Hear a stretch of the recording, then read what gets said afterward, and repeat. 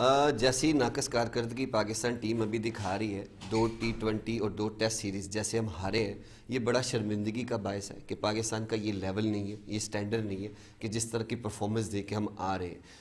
पहला test match हम बचा सकते थे, उसमें हम काफ़ी हद तक करीब हो गए थे।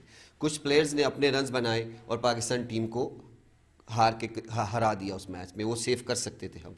अगर वो टेस्ट मैच सेव करते सेकंड रिज़ल्ट टेस्ट मैच का बहुत डिफरेंट आता। उससे हमारा मैार डाउन हो गया। डे बाय डे हमारी परफॉर्मेंस हाई होनी चाहिए, हम डे बाय डे नीचे जा रहे हैं। ये मैनेजमेंट आई डोंट नो कि किसके साथ काम कर रही है, किन बच्चों के साथ काम कर रही है, कि जो बिल्कुल नज़र नहीं आ रहा। कुछ बॉलर्स ऐसे हैं कि लेफ़्ट ऑन स्पिनर है कि वो 50 दिन के आपके साथ है, उससे पहले भी डोमेस्टिक खेल रहा है। कम से कम उस पर काम कर ले, वो डिलीवर करके वॉक करता चला जा रहा है। ये बहुत सी चीज़ें हैं कि जिस पे काम होने वाला है। बैट्समैन कुछ ऐसे हैं कि जिनके हवा में पाँव हैं और बॉल स्लिप में चला गया। तो ये चीज़ें दुख देती हैं कि इतने बड़े नाम और इतनी चीज़ें हैं कि ये कहाँ है, कहाँ मिसिंग है? तो इस वजह से ऐसा रिज़ल्ट आ रहा है। होप कि ये मैसेज जाए कन्वे हो आगे और इस, इन चीज़ों को आगे बेहतर किया जाए।